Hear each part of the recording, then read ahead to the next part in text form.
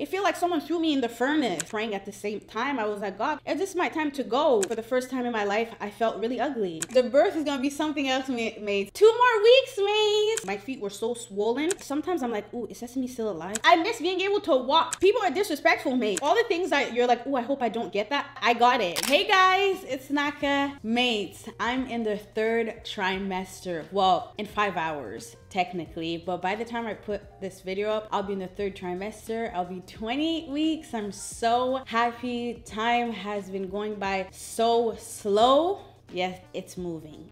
So i'm happy. I, it's like the third trimester. Hopefully by the time i stop blinking i'll be giving birth. So i decided to do a q&a and i asked you guys on my instagram to ask me questions and I'll be answering them. So the first question is, how do you feel about seeing your body change so quickly? I was shocked. First of all, I had hyperpigmentation. Like for those who don't know, basically my hands are a different color than my chest. My face is a different color than my stomach. I have patches of like different colors throughout my body.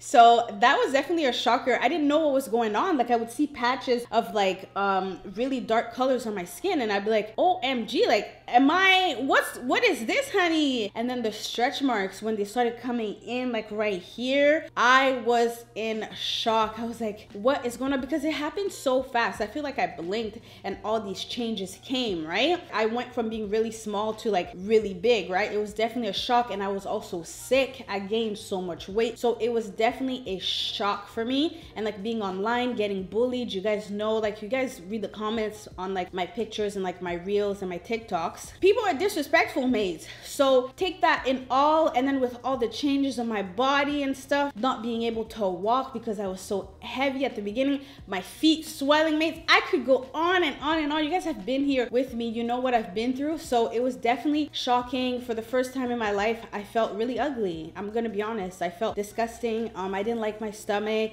I just, I did not like what I saw in the mirror. And I think I've said it before. I couldn't look at myself in the mirror because I was very disgusted with myself because everything people said and then like I just didn't look like myself and I didn't feel like myself too. So that didn't help. It was very, very hard on me mentally, but luckily, mates, I keep talking about the community, but the women in the private community that we have were amazing. Like they were like, Naka, you're not the only one that goes through this. This happened to me, this, this, that. So that's why I'm like a big advocate on like, if you're pregnant and you're going through a hard time, speak to someone. It doesn't matter if you're pregnant, join the community. Like if you're going through things, we just opened up a few spots. So it's going to be in the description bar down below and in the comment section, I'll pin it. But yeah, talking to the community, talking to my husband, talking to my brothers, like my dad, it really, really helped me. Next question. What are you the most excited about after you give birth? Whew, everything just to have my body back and to feel like myself. I feel like I haven't felt like myself. You know, I used to always hear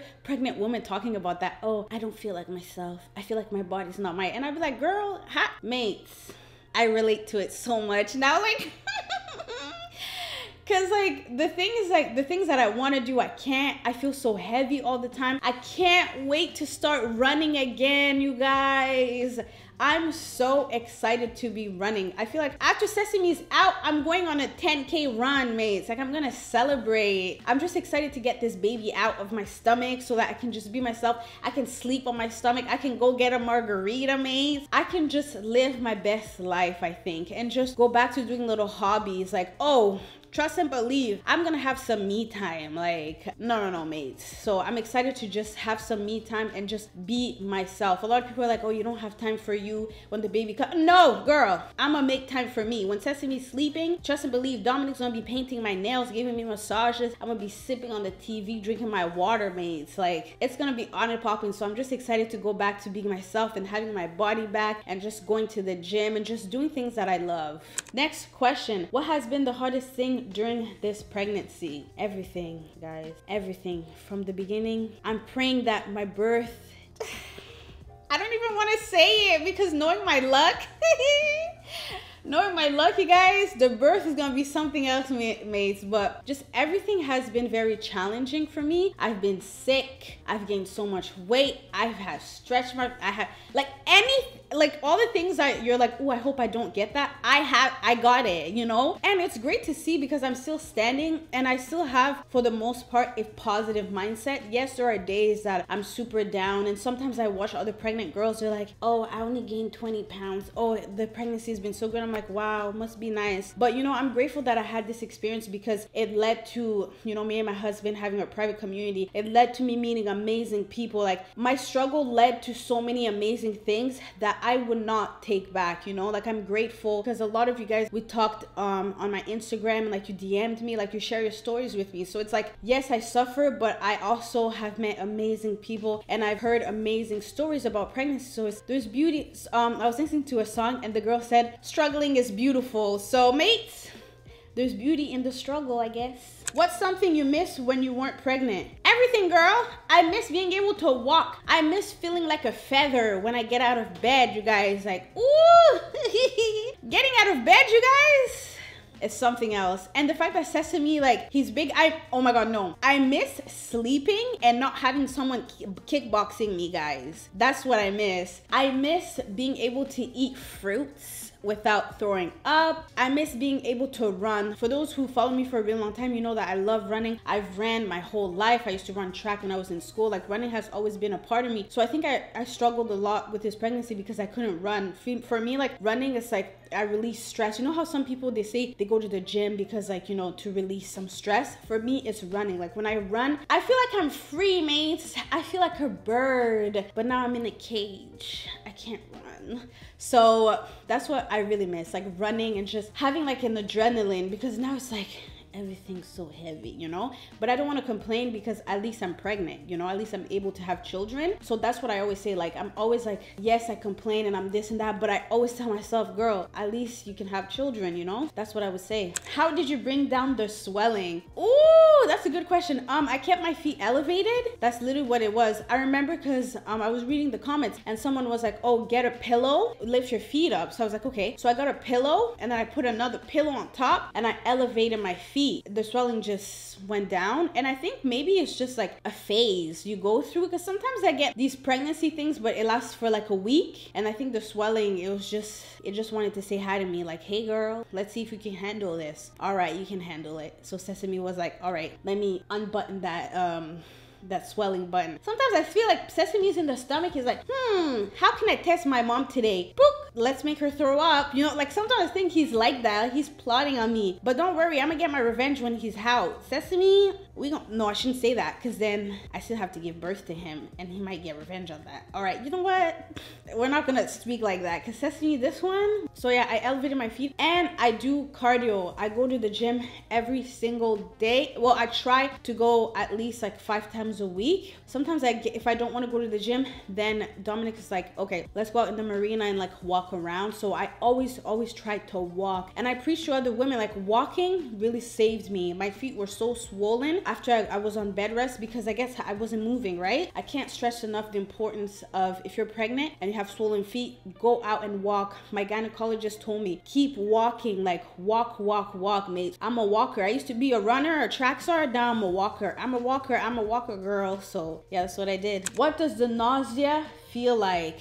Girl, what? Why do you want to know what the nausea feels like? It feels like the end of the world is what it feels like. It feels like someone threw me in the furnace is what it feels like. And this is like a different type of nausea. Whenever um I would get sick, people always they think it's like a cute throwing up. No, it's a type throw up that like you grunt because it's like ah it's like so painful, you guys. I'm not even joking. And like I sweat a lot too because it takes all of me. Like you, you're like it's so painful. I don't know how to describe it, but it's not a, a regular throw up. You know how like sometimes you have your period and like you throw. Well, sometimes well when I would get my period, I would throw up, right? And it's just like a light nausea. No, this is something else. This is like it's like I'm screaming, and I remember like I would throw up and I'd be praying at the same time. I was like, God, is this my time to go? Just spare me this nausea. Like this is too much. It just feels like your heart is about to come out of your body, is what it feels like, you guys. This is not a game. Like, whew, mate. And I still get nausea now. I don't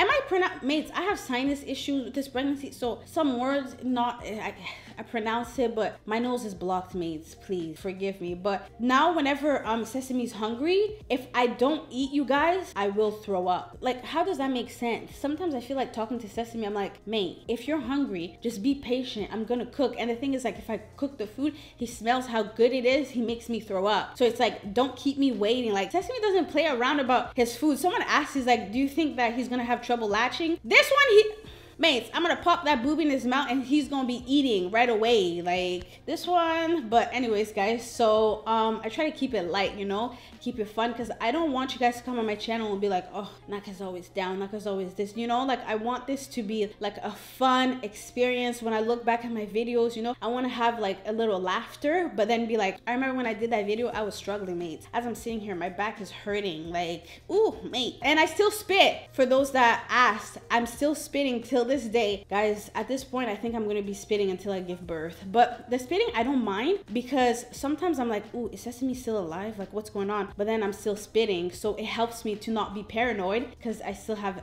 you know, like the spitting. So I'm like, oh, he's doing well. So I do, in a way, kind of hope that I spit all the way at the end because I know that Sesame is still strong and he's still going good. Because I feel like if I wasn't spitting, I would be like, oh my god, what's going on with Sesame? Like, what I need to poke him some more, you know, but I'm spitting and he's like great and all these other symptoms like uh, my hyperpigmentation, the nausea in the morning. Now it just lets me know that Sesame's doing great. He's still, you know, like out there. So I don't mind these symptoms because I know my baby's healthy and he's doing good. And as long as Sesame's good, I'm great. So if he likes it, I love it. It is what it is, you know. That's my son. He's a strong he he's a, he's a boxer mate. I'm hungry. Box box you know? Stop moving, box box. So he gets that from Dominic Mates. Anyways, guys, I hope you guys enjoyed this Q&A. Mates, I made it to the third trimester. I told Dominic when I'm 30 weeks, you're taking me out, okay? You gonna fly me out. No, I'm not going on the plane, but I was like, we're gonna celebrate because I feel like when I hit 30 weeks, it's on and popping like it's only like a waiting game after that two more weeks mates i'm so excited so thank you guys so much for hanging out with me. Don't forget to like comment subscribe and i'll see you in my next video. Toodaloo